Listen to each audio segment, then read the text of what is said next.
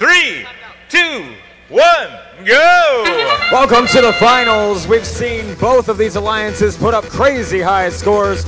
200 something over here on red and well into the high 140s, 150s over on blue. Lots of defensive action expected from both of these alliances. Let's see how it shakes out. Your score coming out of Autonomous, 47 to 23 as drivers take the controls. All six machines moving. Mustangs picking them up one, and then maybe two of these power cells out of the blue trench. When they get down into the scoring area, they'll have to contend with 10 more tons of might that are already pushing Hephaestus out of the way. Two shots now knocked off course from Hephaestus's Blue Alliance offense strategy. Breaker bots continuing to break hearts over here on the right side of the field. They had to back off Wingus and Dingus when they had those protected shots there. And now Wingus driving through under the control panel through the red trench. They will be fair game here in just a moment. For now, Breaker will go off and hold off the systematic eliminators. Systematic eliminators find their safety, and Breaker, ready and waiting for this speedy machine of Wingus and Dingus, flies into the truss.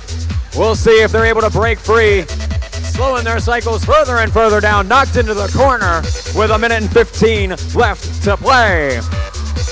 Piggyback ride as Hephaestus gets taken across the field there by 10 more tons. 10 more tons retreats back towards Red Alliance territory. They're already hanging out near the rendezvous zone, mostly just scouting out, playing some zone defense here against these Blue Alliance machines. Jumping around, trying to make their way through. Hephaestus finds a hole in the defense. One outer port shot. Make that two for four points to the Alliance score over in left field.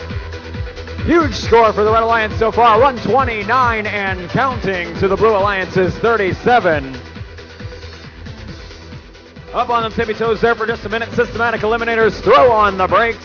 They're ready for the end game here at the rendezvous point at the very least.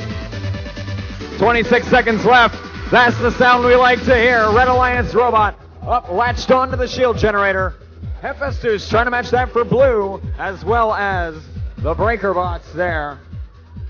Will they actually lift up? Hephaestus says yes. Can the breaker bots join them? Fingertip pull up, but they're airborne for 25 and then back right down onto one of those power cells. Match under review.